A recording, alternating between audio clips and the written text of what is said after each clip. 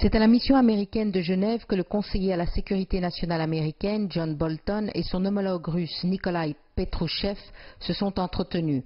Après cinq heures de discussion, l'ambassadeur Bolton a rencontré des représentants de la presse internationale afin de commenter les échanges. Ce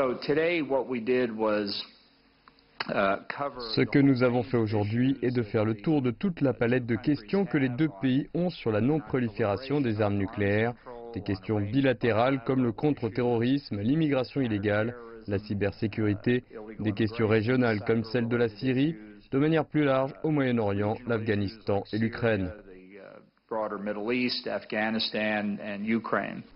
L'Iran a été un des sujets majeurs évoqués, que ce soit au sujet du rétablissement des sanctions ou du retrait de la Syrie qui pourrait s'effectuer en plusieurs phases.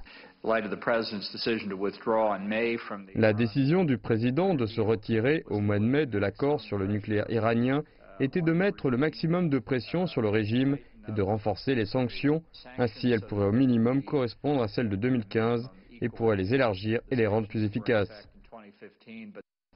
Le diplomate américain a souligné que le fait que les États-Unis n'aient toujours pas nommé d'ambassadeur accrédité auprès de l'Office européen des Nations unies n'a rien à voir avec un manque d'intérêt pour l'organisation. Uh, C'est une priorité américaine constante que de rendre les Nations Unies plus efficaces, de voir ces opérations menées de manière plus efficace, que les agences restent fidèles à leur mandat et de coopérer au sein du système de l'ONU pour éviter les répétitions et les doubles emplois. Le conseiller à la sécurité John Bolton a précisé que les échanges avec son homologue russe se sont bien déroulés. C'est Catherine Fiancambo-Conga pour CGTN à Genève, en Suisse.